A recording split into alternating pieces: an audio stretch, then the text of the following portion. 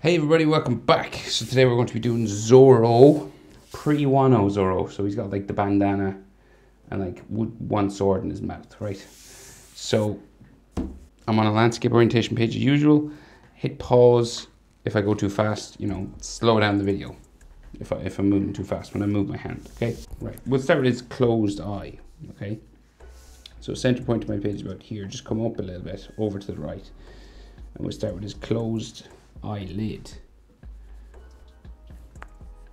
So like we got like a curved line, so it goes up, down, back up, right? Like that. And then this so it's just a little bit thicker, double line, right? right? So that's his closed eye. He has an eyelid line just above that. So like Does he? Yeah, he does. So like just here. Like so. And then we got his scar, right, that comes down. Just there. Right, his bandana comes across here. That's why I'm not bringing that all the way up to the top. So he's got like some lines for his nose here. So like some sort of frown lines and like an eyebrow line, right? And then his, his other eye is open and it goes right across that the top of that bandana. So maybe we'll draw the bandana in. Let me see. No, we'll draw the eye. Sorry. Just try to figure it out. Right, so this comes up and then goes across. Right, and this is like the top of the bandana as well. It's like the eye touches the bandana line, right? And then this will come back down this way for the bottom eyelid and then back down to here.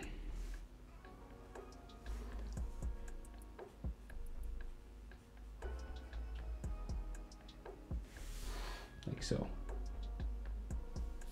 So his iris just underneath in the middle, just there and his pupil like so. Right so then like I said the bandana comes right across the top here. So we might as well draw it in. So it like touches it is the, like the top eyelid line as well. Comes down this way. Comes down towards the middle. And then it'll go back up this way. Around to here. Around the outside it kind of curves around here. Okay. Then his nose, so we got like a line just coming down here, kind of hooks around the bottom. Kind of maybe curves up that way a little bit. He has just a line underneath his eye there. And then just nostrils just down here. So he has a sword in his mouth, okay? So he's a big sort of smiling line for his teeth. So I guess we'll do that first. So just like here, we got like these the edges of his mouth, right? And these are gonna we're gonna bring these together with a big curving line.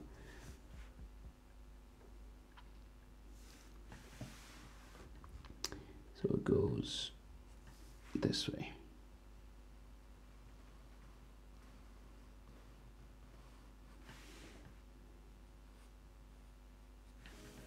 So, okay? And then the line for his teeth in under there. So we do that again, right? So we got like the edge just here. And the teeth are sitting on the sword. So we're just gonna go right down. Do that same line again.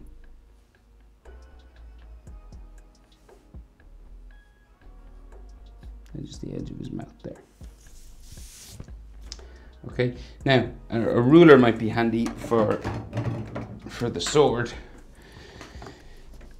So it's just the handle of the sword comes out from the teeth just here, right? So we'll go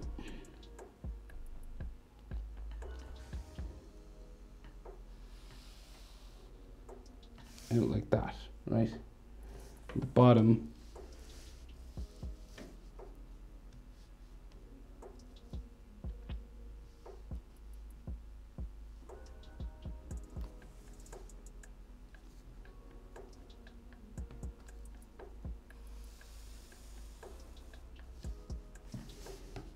see how far we gotta go. Right, roughly something like that, right? And then he's got a piece of gold or brass just at the end here. Right? And something like that over here as well, except this one has like a little piece of curve to it. Like so. And then the end around like so. Maybe like some lines or stuff like that. Right, so on the edge of the sword, we've got like details like this.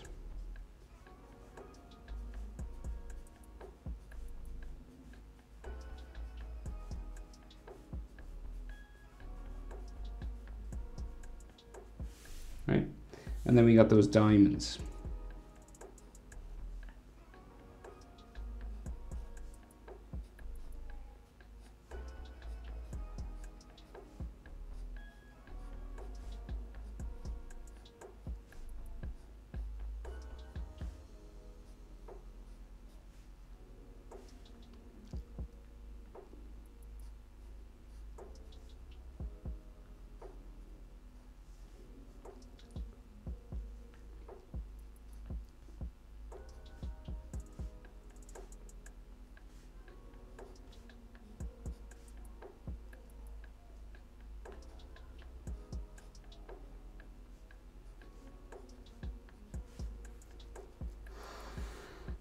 And this is like all that rope that samurai swords, that thread that's wrapped around them.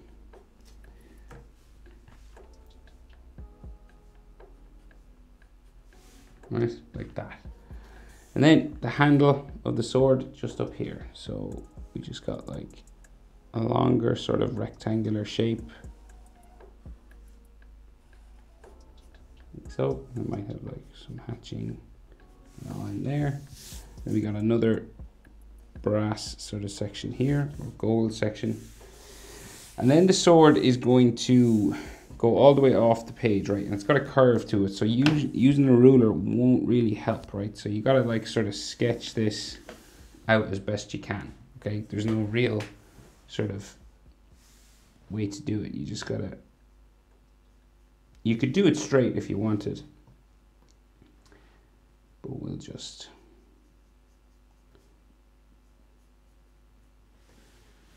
So right, it's going to come out here.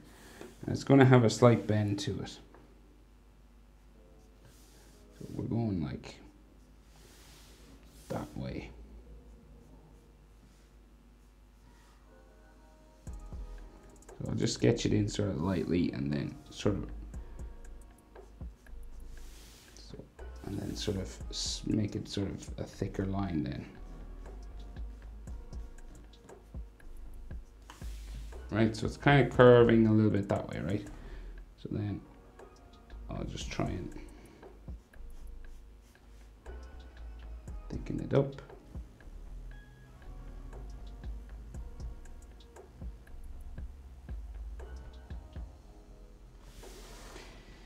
Okay.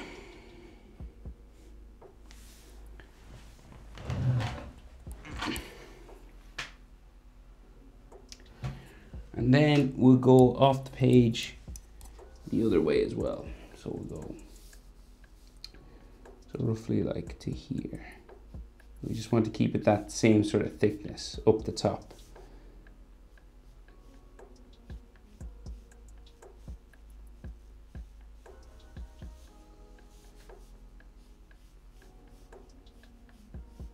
So we're just sort of trying to keep it level and even going down, right? Like so. And then we can try and sort of thicken it up. Yeah.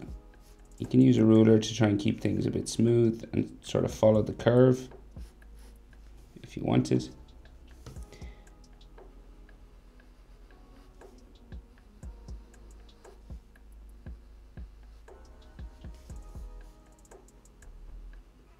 But you'll see, you see it's not like a perfect straight line. It's got a bit of a bend probably easier to just do a straight line, but it's curved in the picture, so.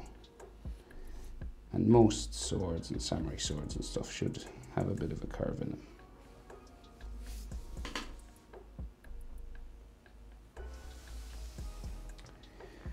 Right, and then he's got sort of a black line that goes up the middle as well.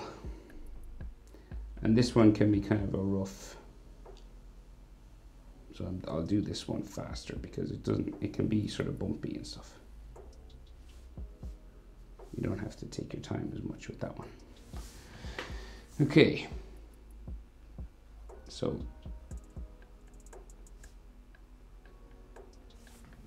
that's roughly the sword. Okay, so then, so his chin comes out from underneath the handle here. Right, comes out here, and then we bring it around. Real square chin. And then we can see his bottom lip and his teeth. So bottom lip line just curves around like so. And then his tooth and teeth just here. Okay. Right, so then side of his head, so he's got like sideburns, those green sideburns of his. And this one just comes down just on the inside of the sword, sort of handle there. And then we got line in here on that side. Like so. And then his ears, so you just see like a curved line going down there, curved line on the inside. And something similar on this side, but he's got earrings on this ear, right? So we'll draw some of those first. So they're like dangling down.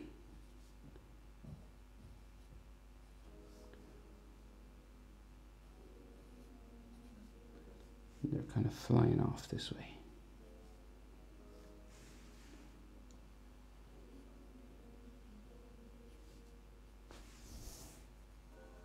just there on that side of his ear and then you can draw in the ear coming down into his head sort of somewhere somewhere there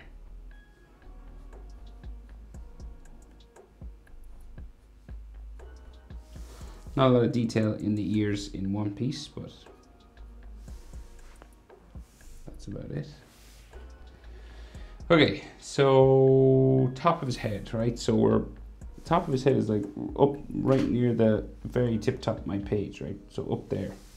So we're like the whole width of his face up that again, right? So you have like chin to the top of the bandana. You want to go up that bit and just a little bit more, right?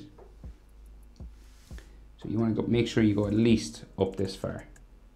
And then if you add a little bit more again, just so we make his, just so we don't want the like the head to be too small. Right, sort of like this. I'm to try to curve it around. And keeping it even, as even as we can anyway. Doing characters like this that don't have hair can actually be tricky. I know hair is tricky as well, but this can be even harder because it's like a smooth sort of curve, you know? So it kind of looks like a helmet. So we just got to give it like some fabric lines coming across here.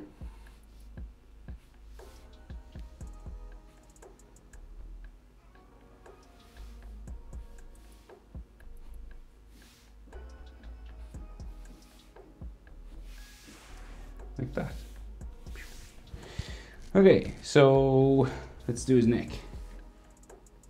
Curves out around curves. So that's so that's neck muscle, sorry. that's not yet, that's neck muscle. So two neck muscle lines and then the other side of his neck. I was wondering why that looked too skinny. So it comes out here. Right, so there's trapezius. And you're going out at least a head width, you know, for the shoulder. So his collarbone comes down that way. So if you study anatomy, you'll know that your collarbone joins these AC joints in the shoulder, right? So this is where the collarbone joins. It goes up into there.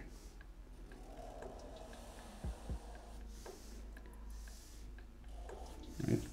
So your collarbone always goes out to this sort of bump in shoulders, right? And then your neck muscles will go in towards the clavicle in the middle And he's got a shadow underneath his chin as well. So we'll just shade that in.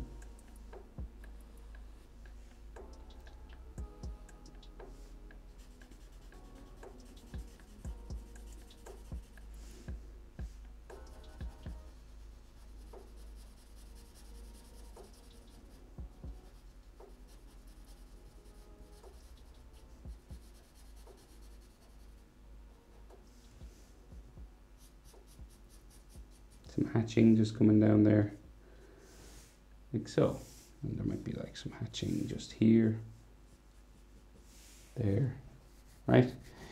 Okay so then his shoulder chest muscle etc so so like just down from here right? We got like the starts of his chest right? So down from here right? So that's like the sides of his chest muscle.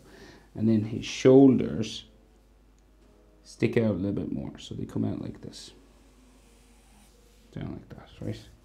So very sort of one piece sort of style anatomy. So you again, you're at least head width for the shoulder. So the width of his head comes out, and that's normally roughly where the edge of the shoulder would be, right? So then we got like bicep and stuff and tricep, right? So we got like tricep muscle just coming down here, bicep comes down the inside from the armpit, just here, right? And the side of his body will be like here somewhere. So same thing, sort of side of his body, bicep.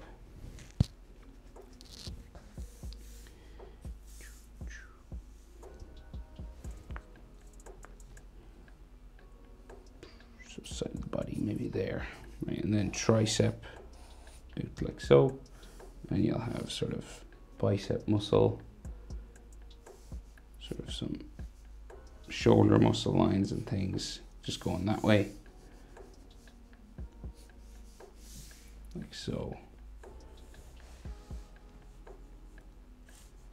So like, you know, chest muscle coming across here, bicep line kind of unusual anatomy in this. Hmm, the arms are strange, but um, I guess it's one piece, so it works. So middle of the chest comes down here, and then chest muscles will go down, and they're kind of carving up and around, right? Up, up like so, down, up and around like that, and then nipples just here. Two curve lines, you can have like chest muscles going that way. And then maybe like some extra lines underneath here. Like so, and maybe like some obliques and things. And what we can see of his abs, you can't really see much. Just like a line here, some lines coming across there. And then he has a big scar that comes across his chest, right? Comes all the way down across his chest here and then goes across his stomach. And it's got like stitches on it.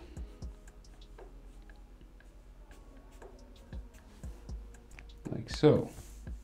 And